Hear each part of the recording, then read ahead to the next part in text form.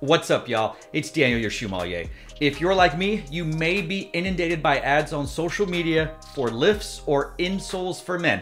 That's right, there are these one to maybe even three inches worth of triangle type material that go in your shoe, mainly high tops and above, so that you can, in essence, make yourself seem taller. Myself, I am 5 foot 10 and don't really have a need to be any taller. Sure, when my wife wears her 3 to 4 inch heels, it there's a little bit of looking up a little bit, but by no means do I have Tom Cruise syndrome and have to wear lifts every day. I'm fine with the Nike Reacts or the Overbreaks or the Boost giving me just a little bit more height, but I'm good with my 5'10". But I thought, what a fun video would it be to get these insoles, try them on, and see what I look like. See what it's like walking on them. Is it like high heels that people say? Are these high heels for men? And hey, what does the world look like being one to three inches taller than I normally am? So today we're going to talk about one such brand of insole. I went on Amazon and did some research and found the three highest rated or three best looking or whatever. I found three different brands of insoles and today we're going to do part one of them. And we're going to focus on, of the three that I bought, the insoles that provide the lowest or smallest height increase. This particular brand only offers up to one and a half inches of height though there are others out there that will get you to almost three inches added to your normal everyday height.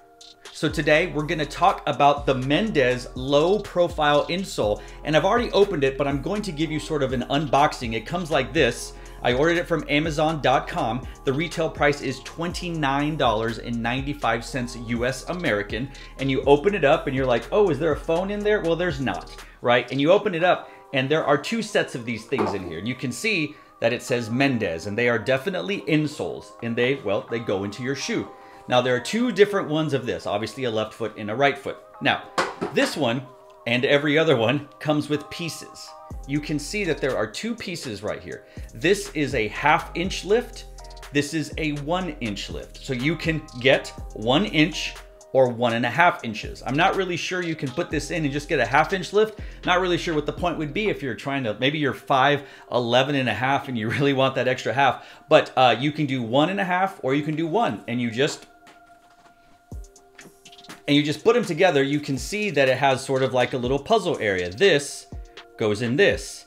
And it looks like there's a crown on there because this is for us short kings out there. Am I short? Is under six feet short. Apparently on dating profiles it is, but boy am I glad that I'm not on any of that. 5'10", got a wife, don't need to bother with any of that. But the crown goes into the crown, and there you go, and it disappears in there somehow. Well, there it is. And you can see, this would give you a full inch and a half. This would just give you an inch. So what I'm gonna do now, I've pre-recorded this version because I wanna go try it out, but actually show you what it's like. I'm going to put them in the shoe. I'm gonna put both heights so you can see, and then I'm gonna show you what it's like walking with them because I have to assume it's a little bit different walking with these things in your feet. You're propped up, right? If this props you up a little bit, that means my foot goes from this to this. And I'm not sure how that's gonna feel. So I'm gonna cut relatively soon to trying on these Mendez uh, insole shoes, again, one inch and one and a half inch. All right, so as you can see, I decided to try this experiment out with the Nike Air Jordan 1 Shadow 2.0s. According to the description on the Amazon page, it says that these insoles will fit any occasion, a Chelsea boot, a high top sneaker, a classic low top sneaker, a classic boot, or a dress shoe. So unlike other insoles or foot lifts I have seen, this one says you can actually wear it with low top shoes. The instructions given were pretty basic and obvious. Loosen the laces on the shoes as much as possible. For added height, add the stackers to the insoles. Then you insert the insoles. You insert your foot and tighten the laces comfortably and go out there and do something remarkable. Now from this angle, you really can't tell how much it affects my height. Maybe if you look at the cuff of my track pants, you can see that it's getting higher and higher, one inch higher, an inch and a half higher. And when it comes to sliding it in, it feels weird at first because you feel like there's something underneath the heel of your foot, but it's not like a rock or anything. It definitely feels like you have something in there. If you ever put your wallet in your shoe, then maybe this feels like that. I'm not sure. I've never had two wallets because I've never had to do that. So I'm not really sure. But putting them in and wearing them definitely did feel a little weird, especially when you add the inch and a half insole to that. The inch felt okay. I didn't feel any weird pressure on the ball of my feet or my toes, and I didn't feel any weird wobbliness when trying it on. But when I put on the inch and a half, I definitely felt like there was some awkwardness in how I stood and then when I walked, I was afraid to no normally go like heel toe like I normally do. I don't know if it's because I had all that extra stuff on the heel. I'm not sure. I've never really walked around with, well, male high heels, but it did feel different. I'm sure if I were to wear it for an extended period of time, it would probably become comfortable and I would forget all about it. But just on an initial impression of never wearing these for all of my years of life and then wearing them for these few minutes, it was definitely a weird feeling. Now I decided to show you what it looks like with me pretty much just standing still against the same background so that you can get an idea maybe of if this really noticeably impacts your height. Because I think maybe half inch is not really that noticeable to people, maybe an inch and a half is, especially if you're standing next to someone or something that is traditionally taller than what you're used to. Maybe you'll see some difference and maybe you'll go like, oh yeah, that's really worth it.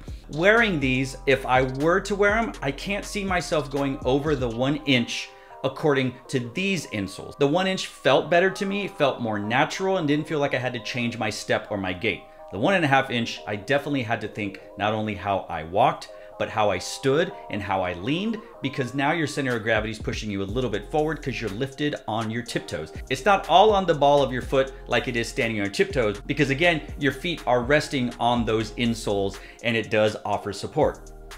So what do I think about these Mendez insole lifts, the one inch, one and a half inch lifts that you can put in there?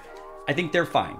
I don't see myself using them, but I can see why people would like to use them, especially when it comes to boots or high top shoes. I am curious about what you think about insoles. Do you use them? Do you know anyone that uses them? Do you care?